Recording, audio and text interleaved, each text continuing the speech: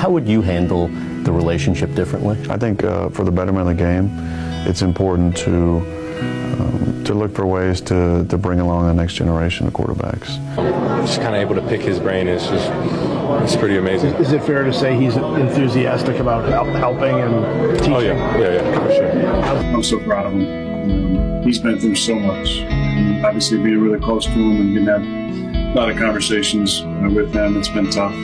That's something I w- I wouldn't wish on, on a lot of people. It's not a it's not a fun situation to be in. Um, having to uh, get in front of 50 cameras a couple times a week and uh, and answer the same questions was difficult and you know maybe a little unfair as well. Why unfair? Because the situation was was bigger than than all of us involved. I was the guy caught in the middle of uh, of a struggle.